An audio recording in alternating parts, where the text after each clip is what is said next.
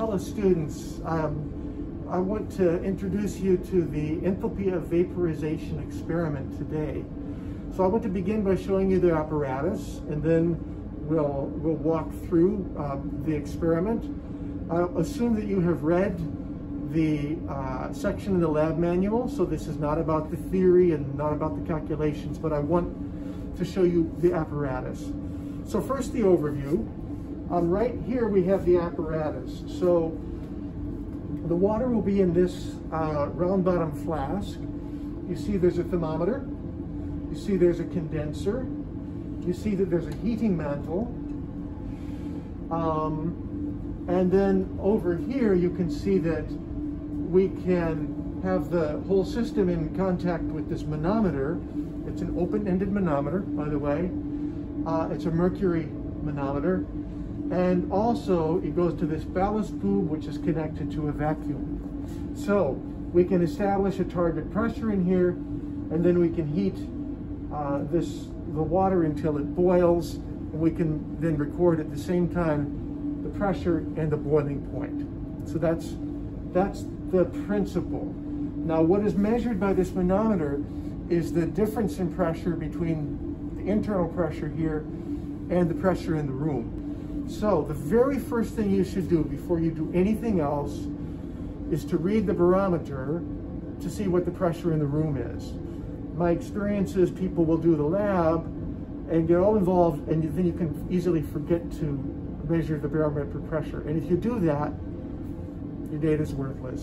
Because even if you come back the next day and measure the barometer well, that's a different day. So,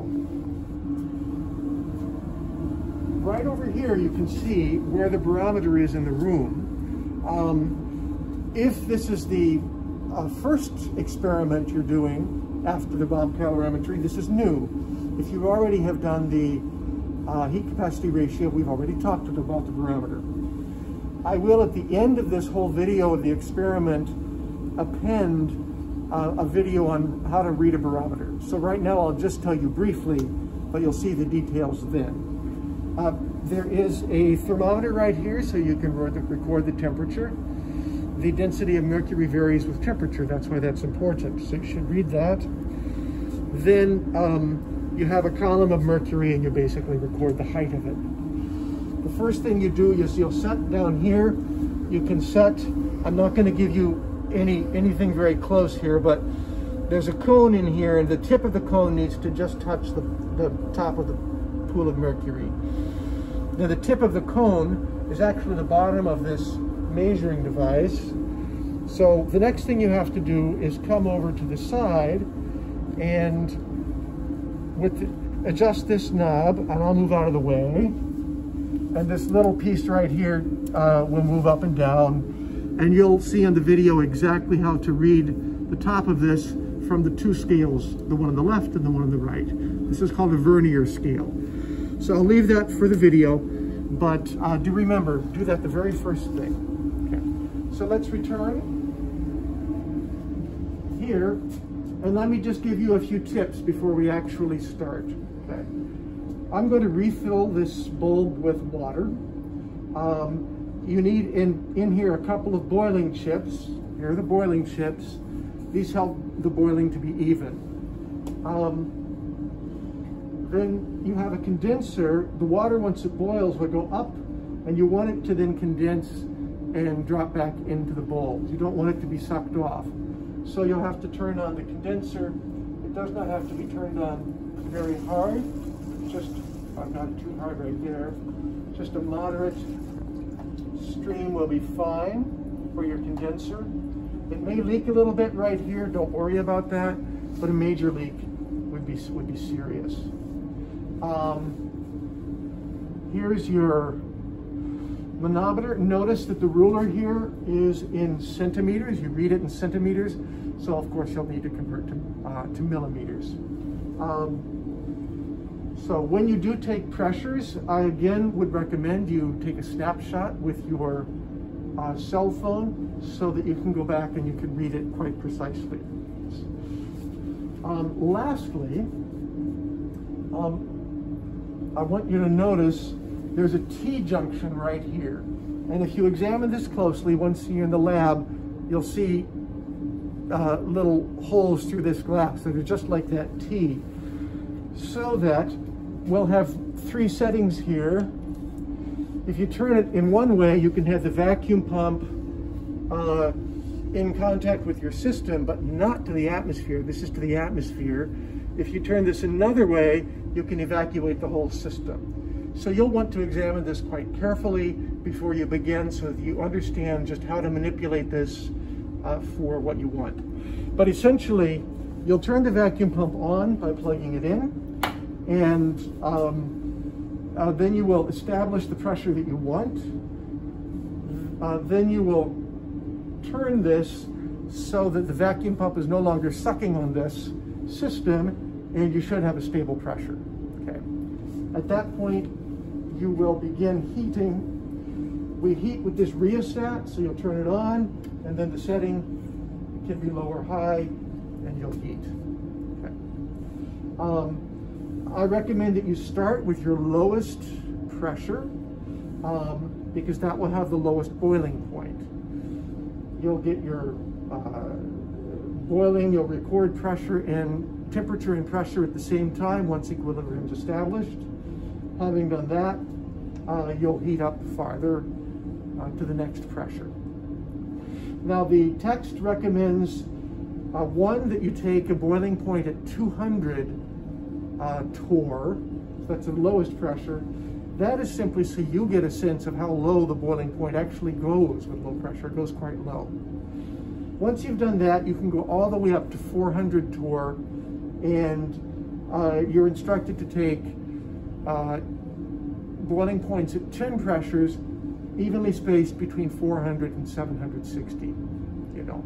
Um, so that's really what you need to do. So that's, I think, are there, the critical points here will be to use this, you have to decide what boiling looks like. You know, it should be slow and steady. It should not be too vigorous, but there should be some bubbles. You have to decide what that looks like, and then you should apply that same look for every point that you measure. Okay.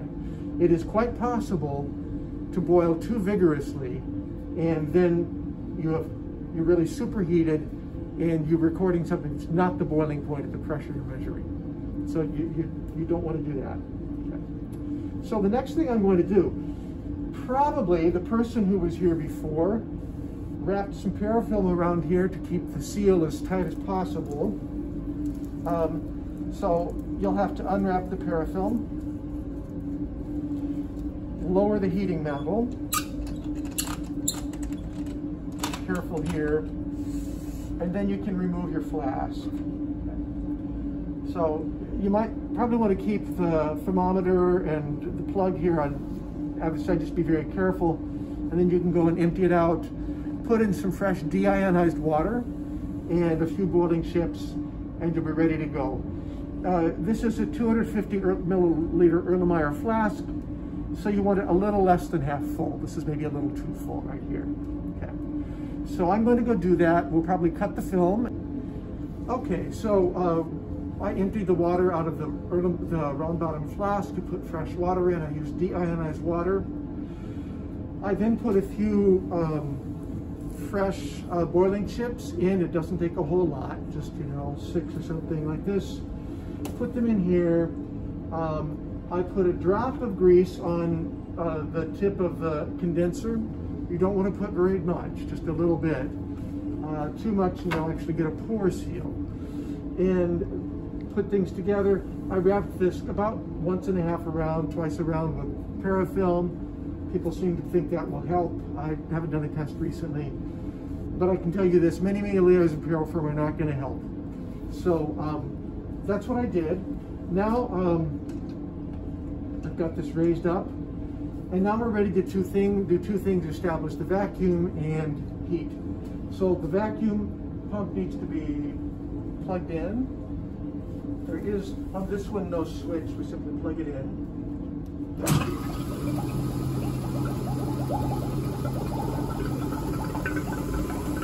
I have this adjusted so that the T is like this, okay?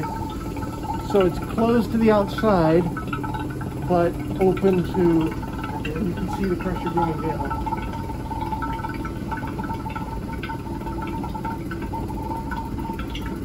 Now we want to get into the difference about, I guess 73 to 23, something like that, right?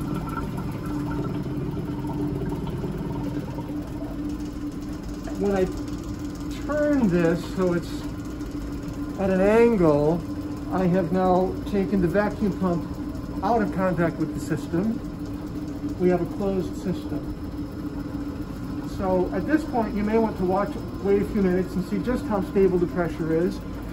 It will not be perfectly stable, but it should only be a slow drift.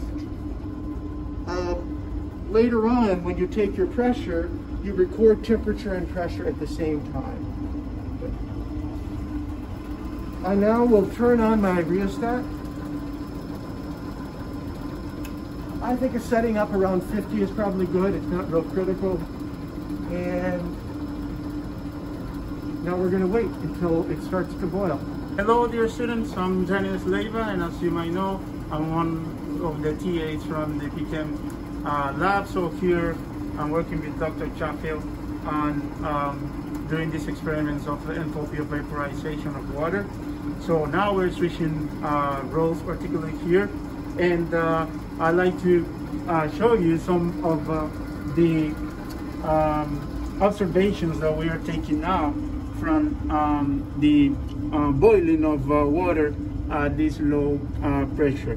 So as you can notice from the zoom in that we're seeing here, so there are um, a couple of, of many bubbles just surrounding uh, the chips. So they are indicating that we are uh, approaching uh, the boiling point of water at that particular uh, pressure. So however, we still don't have uh, the boiling. So also if you notice the, the temperature, so we are now approaching 40 uh, Celsius degrees. So uh, the, the point here is like you, you need to look carefully to the solution uh, to let's say decide when uh, you will um, collect the, the data of boiling. So when I'm saying data, the pressure and the temperature are a particular point in which the water will be boiling. Okay, I am Dennis and I have aged rapidly. Dr. Chatfield, obviously. Uh, I think we have something that we've decided, Dennis and I, is going to look, we're going to call this boiling. I don't know how well we can get this with the video because you have to look into the bowl and the video might, no, I think that's pretty good, okay? Um, you decide what it looks like for you, but you need to use that same picture consistently. Okay? And see the temperature, yeah, go. Uh. And now go to the manometer. So you you look at, you got the temperature and you're getting the pressure at the very same time. Okay, you can't take the pressure in advance; it's going to change. You may you, you record the pressure at the same time you record the temperature. Okay. So once you've done that, you now want to heat up, you know, because you want to go to a different pressure. We're going to heat here, and I'm going to, uh, let's see, I'm going to have to decide what I want. So this is presently at, what do we have? About 66, and this is at about 21. 66 minus 21 is 45, so that's 450, right? Now, atmospheric pressure is 760, so 760 minus approximately, it's going to be a little different. So 760 minus, what did I say, 440? 450. 450. Okay, so that's 310, right? Okay, so we have 310 right now. Suppose that I want to change the pressure by 10, 10 torr. So we'd want to let in, adjust the pressure here by letting in suppression from the atmosphere. Okay, so that we change the pressure. And now we're going to have to heat. Okay, and the next time you heat, what, what we have to reestablish boiling, and that will take us to a higher boiling point. Okay. So this is the principle, and you can follow the lab manual, but you need about 10 points between 400, 400 torr and 760 torr. And if there's time, you should do two runs. You have to let it cool off and then heat again. The second run, you can just start at 400 torr. You don't have to go down to 200 again. But uh, if there's not time, you'll just do one run. If there's time, you'll do two runs. So good luck, students. I hope that uh, you have a successful experiment.